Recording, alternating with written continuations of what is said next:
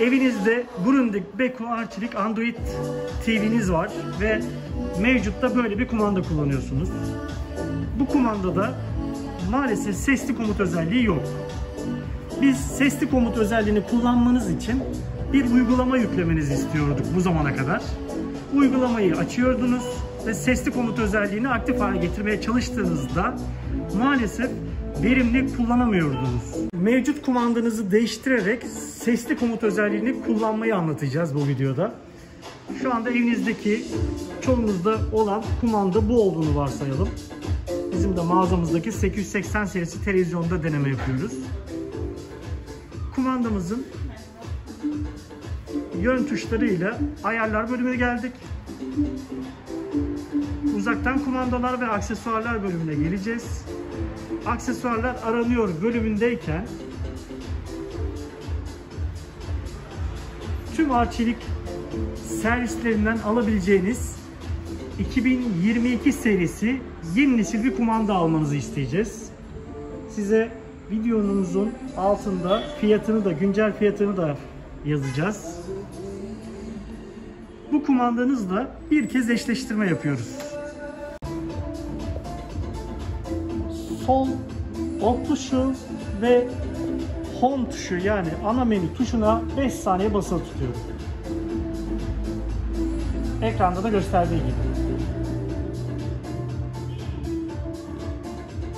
Arama moduna geçiyor.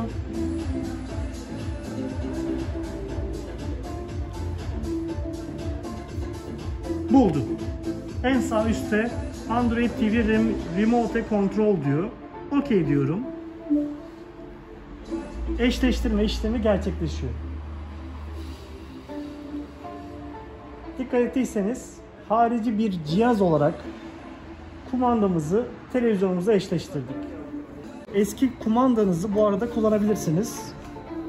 O da boşa çıkmadı. Eski kumandanız aktif.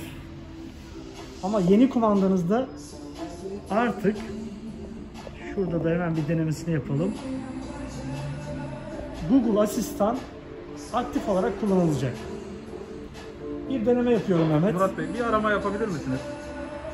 Bir kez bastım. Bilinçli Seyircim YouTube kanalı.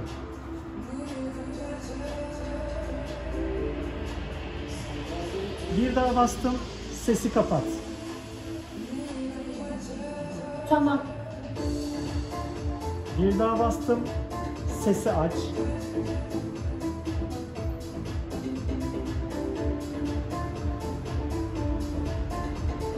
Bir daha bastım.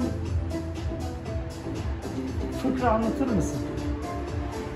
Fıkra konusunda çok da iddialı değilim ama bunu sen istedin. Kafasına buna heykeli düşen adam ne demiş? Başımıza bu da mı gelecekti?